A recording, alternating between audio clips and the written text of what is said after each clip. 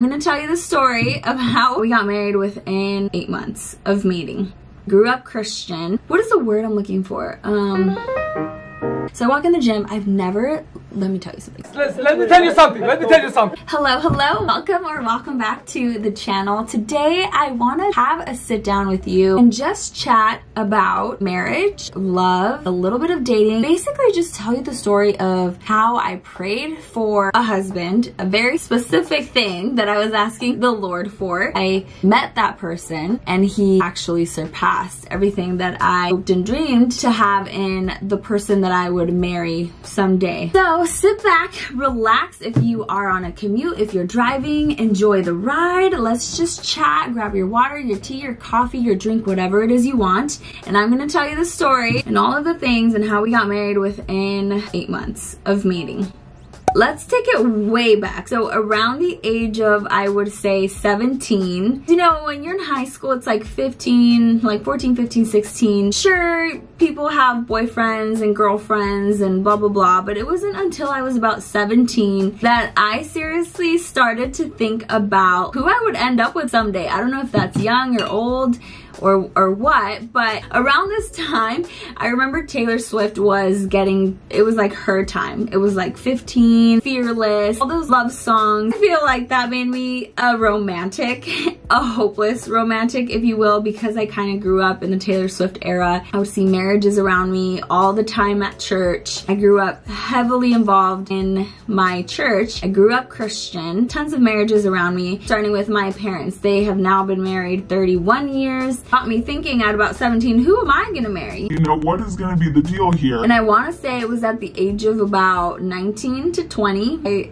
literally sat down one day, grabbed a notebook, and I wrote down a list of non-negotiables. This is something my mom always taught me. She was like, you always want to have a list of non-negotiables in the person you want to marry. You're going to meet tons of guys, but if you have your list of non-negotiables, it's going to become easier for you to determine, is this the guy for me or not? Thank you, mom, for that. That was so, so helpful. So here I am, 19 and 20 years old, writing down a list of the things that I wanted in my future husband. So I wrote things like like I want him to love God above everything else. That was the first thing I wrote even more than me, which sounds weird, but the truth is if your person loves God more than anything in the whole world, that's not going to steer him wrong.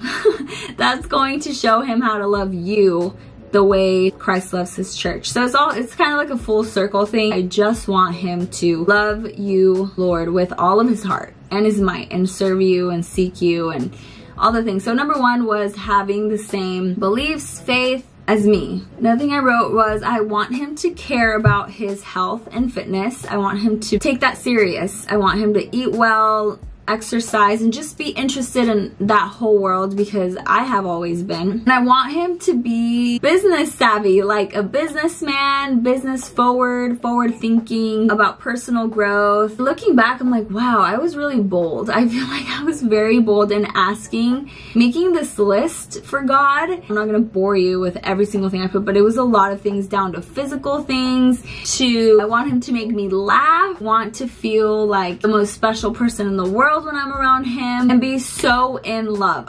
What is the word I'm looking for? Um,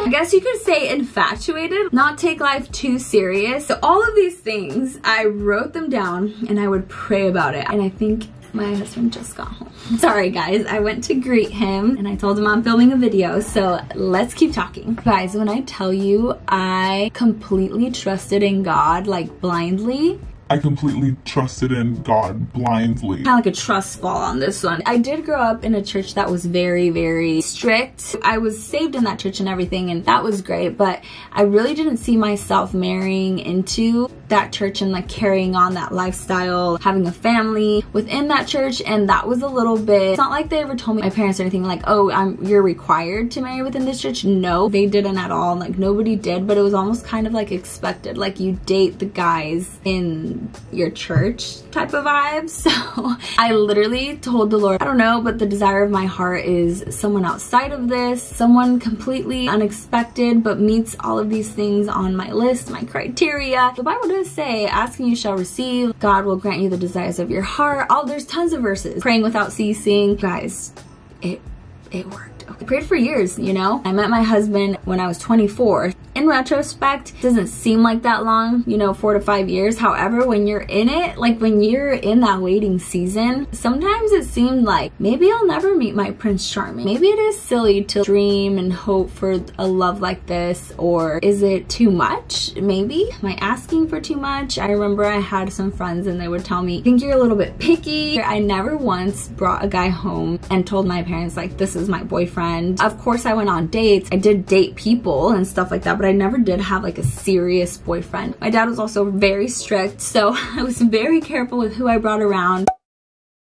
When I was 24, I actually got set up by one of my aunts. So at this time, it was post college. I was already in the workforce. I was working a nine to five. This was back in 2016. My aunt told me about her CrossFit coach. Honey, I have a guy for you. I'm like, oh, I'm okay because I'm living in Fort Worth, Texas at the time. She lives in Orange County, like California. And so her trainer is obviously from California. We were actually on vacation in Mexico and she told me about this guy that would be perfect for me. He loves the Lord. He loves business. He's an entrepreneur. Like he has a business, tall, handsome, fit, all these things, right? I'm like, wow, like, I mean, sounds great on paper, but who would want a long distance relationship? She was like, well, listen, I know you guys are gonna come visit in December of this year, so December of 2016. I was like, awesome, sure. We'll revisit when I come visit. So six months pass, December rolls around, come to California, and she takes my brothers and I to CrossFit, to a CrossFit class to try it out. I had never tried CrossFit in my whole life before.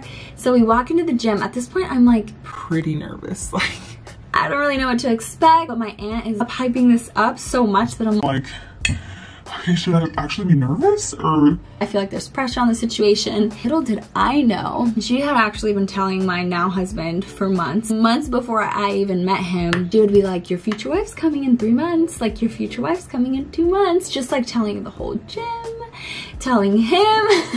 Thank God I didn't know this, but like everybody knew the situation. Everybody knew, but I didn't know thank goodness. I would have been even more nervous. So I walk in the gym. I've never, let me tell you something. Let, let me tell you something. Let me tell you something. I've never been nervous around a guy before. I've never felt like smitten or like love at first sight. I walked in that gym and my now husband, his name's Jonathan, Jonathan walks over to me, to my brothers, introduces himself He's like, hello, I'm Jonathan Palmer. Welcome to CrossFit Saved. Happy you're here. I was like, uh-huh. Like, oh my God, he's hot like he's hot. I was like, what's happening? What is happening to me? I'm like, it's really hot in here now. That was the first sign for me. I'm like, but like I just met you. Like what? Crazy. Very much love at first sight. I know that sounds super mushy whatever, you know, like romantic. But it's so true and it happened to me and I can vouch for that whole thing. Love at first sight thing because it's, it's real. It could happen to you. Just saying. Didn't think it happened to me, but it did. So I do the class, I work out and I'm like nervous the whole time. I'm like, is he looking at me? Am I squatting okay? So the workout's over. Very challenging workout. Pushed myself. Wanted to impress John, of course. Afterwards, we were all gonna go to breakfast together down the road, like two minutes from the gym. So here I am. Um, I think I was on Snapchat at the time, posting where I was, and I went outside to, to take a picture of the gym name. When I come back inside, uh, where is my aunt and my siblings and my cousin that I came with? And he was like, oh, I guess they left. And I was like, my aunt really orchestrated. She was working it, working the situation, and I was like, well, now I don't have a ride to breakfast. So I tell John, super shy, like embarrassed, and he was like, just with me, totally fine. Here's the thing, here's a little sidebar for you. You know how sometimes like you get a weird vibe from like guys that are like, ooh, let me get your number, or ooh, hey girl, flirty, but you don't know their intentions, super sus. John was not like that. He was super professional, super straightforward, serious, because he's working. wasn't there to flirt. And now I'm like even more interested. we look back and we laugh at this so much because it, it is really pretty hilarious. That entire two to three minute drive to breakfast, I I lost my marbles. I lost my cool card. In my head, I'm like, this is an interview. I need to make an impression on him because I'm flying back to Texas tomorrow. It's the last day of 2016. This is my only shot. Like, I could never see this guy again. So on that ride, I was like, my name is Claudia. I went to school for business. I have a bachelor's in marketing and management. I work in inside sales. Like, girl. Is my elevator pitch or something like he was gonna hire me to be his like wife or something. I'm like and before i knew it he arrived because it was not far. He did not get to say a word. It's like driving like Uh, laughing a little bit. I was trying not to look desperate, but it was very desperate. so we get to the place. All of the gym members are there. That day, the 31st, December 31st is my dad's birthday. So this piece of the story is important and I'm going to tell you why in a second. So basically when we got to the restaurant, I didn't get to sit next to John. I sat with like my family. We were like super far apart and I was like, well, I guess I don't really, I'm not going to get to talk to him again because I don't think going to see him again. I told my cousin if he asks for my number, totally give it to him. I guess we'll see what ends up happening happening. I go back home, back at my corporate job. At this point, three days had passed. I was like, okay, well, I guess he's not gonna text me. I'm at my desk working away when my phone goes off and I have a text message and it's an unknown number and I look, girl. It was Jonathan. Hello, this is Jonathan Palmer from CrossFit Saved. It was a pleasure to meet you. I was like, we're in, baby. Like, we're in. Because this guy would not be texting me knowing dang well I live 1,200 miles away from him. I've never been so happy to see a guy text me before. We start texting and I was like, we're not gonna text. Like, we could totally FaceTime. He was like, what? I've never done that. Like, I don't have time. Like, literally this guy would just eat, sleep, run his business. And he had a meal prep business too, which later on I took over. But he was like, okay, I guess we could do that, FaceTime. So we start FaceTiming every day. And because of that, we really developed a great relationship as far as our communication. So he's like, okay, so when am I gonna see you again? This is January of 2017. And I'm like, well, I'm thinking like a student, uh, maybe like summer. He's like, summer. He's like, I was thinking Valentine's Day. I was like, oh my God, that's next month. Like I just saw you a month ago. He's like, well, yeah, I wanna see you again. And so he flies out to Fort Worth, gets a hotel, all the things. And I'm like, oh my gosh, this guy's like serious. He's like invested, he's interested. I'm like, this is amazing. On that trip is when he told me. So I had been really, really praying to meet my future wife. He was sensing that the Lord was saying that he was gonna meet his future wife in 2016 but just meet her. People around him were saying, you should go out, you should go to bars, you should do this, you should do that, to like try to put yourself out there and meet girls. He's like, no, I'm really believing the Lord will bring me my wife. Guys, literally the Lord hand delivered to his door the last day of 2016.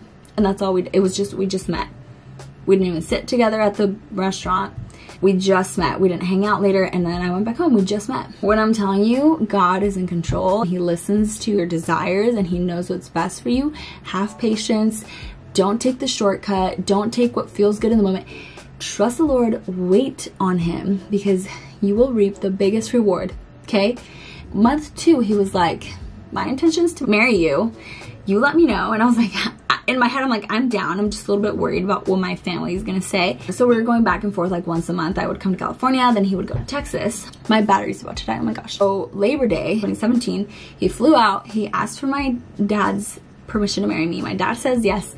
We end up eloping two weeks later and then we have our full-on wedding three months later. So we eloped on October 2nd, 2017 and then we had our big ceremony wedding December 2nd of 2017. It's gonna be five years in a few weeks five years, you guys. Best five years of my life. Now we have a baby on the way. I don't want to get emotional on here because that's not what this is about. I'm so sorry, my camera died. We're at the end of the video, at the end of this part of the story. I'm not a relationship advice giver. I'm not telling you what to do or anything like that. It's just me sharing the power of faith and prayer and patience and trusting God. It's really all this is. I feel like my marriage is my favorite story to tell because it is a testimony to how good God is. I'm just the happiest person. Sure, we have our bumps in the road and miscommunications and quirks and we annoy each other, which is all good, good and normal. Just really wanted to share and document how I met my husband. And that is just my story. If you would like to share with me, because I love love, I love hearing